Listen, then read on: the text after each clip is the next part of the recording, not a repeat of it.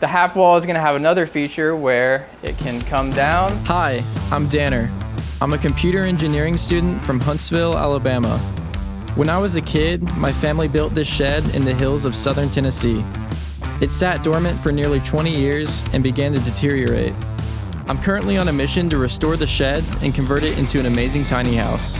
With the help of my dad, I'm learning the basics of construction, restoring the land, and documenting our story. This is Abandoned Shed to Tiny House. Hey everyone and welcome back to the channel. Today I just wanted to do a quick update video and fill you guys in on some of the things we've been working on. Last week I actually got my first surgery ever. I had my tonsils removed and it's definitely a painful surgery and a a tough recovery process, so I've pretty much been stuck in bed for the last week. But today I was feeling a little bit better, so I wanted to come up and show you guys this trap door thing that we were working on before I got my surgery. So we've decided that we want to do a raised deck out back because we have this really amazing view overlooking a valley and we just think it'd be really cool if we had a deck we could go out and sit on and maybe put a hot tub up there eventually.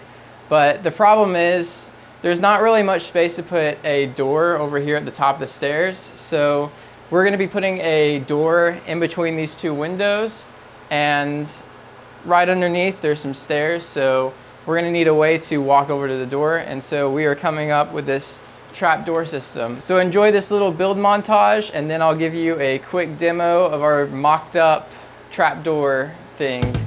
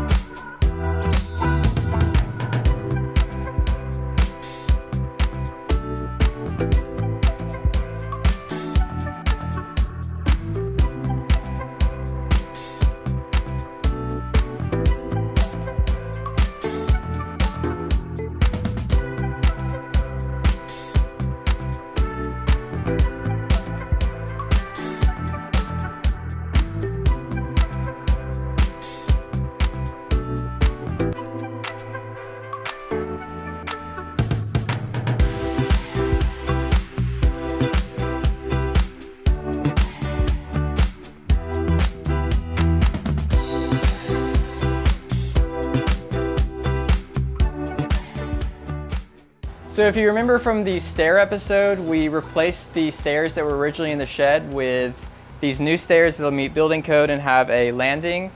And originally there was floor all right here and we cut it out, but we kind of left it a little rough. So we started out by cleaning it up a little bit. We had these two by 12s and they had been sitting outside so we ran them through, through the planer just to clean them up a little bit and we kind of surrounded the stairway with them. So upstairs in this room, we're gonna have a half wall that goes around the stairway. So that's gonna kind of divide the room from the stairs and keep you from falling off the edge. But the half wall is gonna have another feature where it can come down and it turns into floor. And we'll put the same finishing material as we do on the floor. And then we'll be able to access the door that's right here that goes to our raised deck. So this is just a mock-up for right now, but the idea is that it'll be kind of hidden into the half wall in the room and we can put it down whenever we need it and when we don't it'll just be hidden. We've also been thinking about some ways we can assist putting this down. One way is to use some springs so it goes down kind of soft. We're also thinking maybe we use some linear actuators or some kind of motorized system to automatically put it down when we push a button.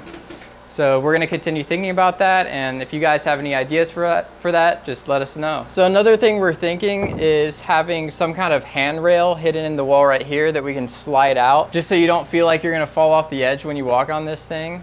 But I think it's gonna end up being pretty cool. All this stuff is temporary. These blocks are temporary, these hinges. Um, we really just wanted to see what it would look like and try some stuff out. Another cool thing about these 2x12s is these are the same 2x12s that were here 20 years ago when we were building this, and we ran them through the planer, it just kind of like brought them back to life again. So I thought that was kind of cool. So I also wanted to announce that we're just about to order our first shipment of lumber for framing the additions. We're gonna be getting our lumber from a store called Marvin's here in Fayetteville. We told them about our channel and they really liked the project and they're gonna be helping us out a little bit and they're probably gonna be delivering the wood here this week and we can go ahead and start get started on the framing of our additions. So yeah, the guys over there at Marvin's are really awesome and big shout out to them. Also, shout out to the patrons for helping support the channel. Lumber is really expensive right now, so anything that we receive helps a lot. You also might have seen in the background of some of our videos that we've been driving around a Honda Crosstour with a trailer on it. I have bad news about our car. Someone pulled out in front of my dad, ran a stop sign, and totaled the car, but Everyone was okay. It was definitely an inconvenience. But the good news that came out of it is we decided to get a truck we got a 2006 F-150 and we're gonna be using that for picking stuff up and it's definitely going to be a lot better than a Honda Crosstour with the aftermarket trailer hitch on it. Alright, well I think that's going to be a wrap for this video, but you guys can expect a video really soon for framing the additions. Thanks to everyone who's watched and subscribed, and I'll see you guys next time.